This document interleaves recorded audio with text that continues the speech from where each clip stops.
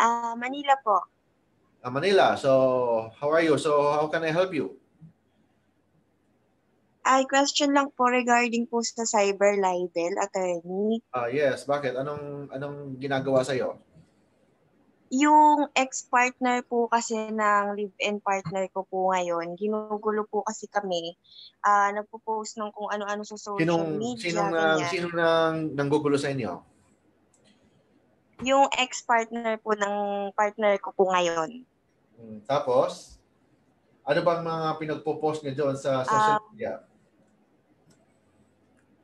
Ano Mhm. daw po, um, pok-pok, mga ganon, kabit, ganon. tapos eh, may- nagsama hindi. po si Ang nakalagay ba sa social media, nakalagay ba yung mukha mo, pangalan mo, o ano?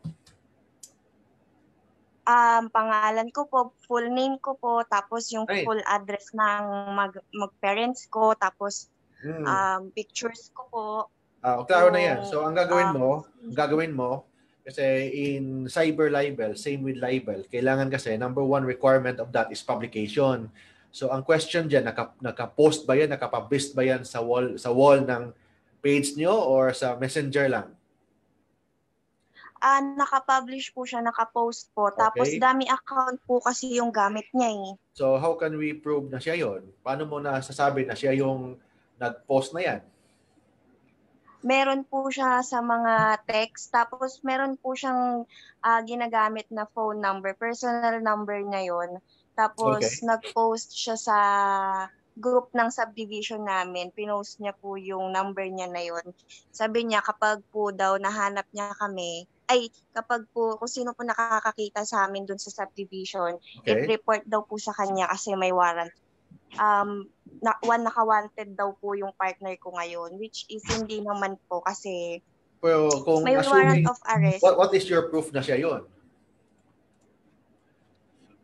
Ano proof mo na siya eh, yon? siya lang naman po yung may motive. Hindi naman sa Siya motive yan eh. Kailangan kasi, motive. Ah, hindi naman pwedeng motive-motive lang or feeling mo lang na siya yon. Kailangan mong, gusto ko ma- magtanong kung may proof ka ba na siya yon. Kasi hindi naman pwedeng sabihin na siya Ah, yun. nag-text din po siya sa number niya.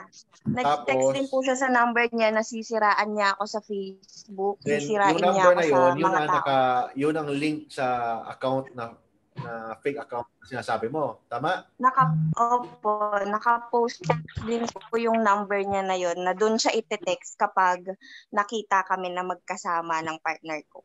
Okay, so yun ang gagawin mo. First is i-screenshot mo lahat ng mga post na yan. Screenshot mo. Then you need to find a lawyer.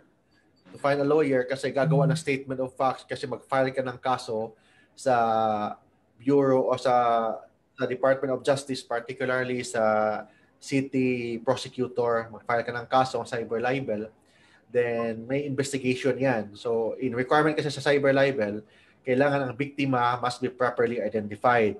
In which sinabi mo naman na properly identified kasi nakalagay yung pangalan mo, nakalagay yung mukha mo, you properly identified. Second, yung statement niya is very libelous. Third, nakapublish. Oh. So, in that case, pwede na, pwede na, pwede ka na mag-file ng kasong cyber libel.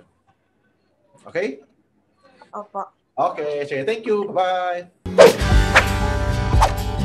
So, ito naman yung kaibigan po ninyo, si Attorney Mark Tolentino sa programang Attorney Mark Tolentino Audio on Demand. For free legal advice, please call me landline within Metro Manila 7-209-6203. I I repeat po, 7-209-6203 and mobile number natin, pwede kayo mag-text, tumawag, or through Viber or WhatsApp sa 0917-329-5353. I repeat po, 0917-329-5353 and pwede rin kayong tumawag, mag-text or through Viber sa 0932-88-56203. And please follow me sa Facebook page po natin sa facebook.com slash Mark Tolentino Law and sa YouTube page po natin sa youtube.com slash Mark Tolentino Law Blog. Thank you po for following me and please support all my videos and vlogs. Ito naman yung kaibigan po ninyo, si Attorney Mark Tolentino.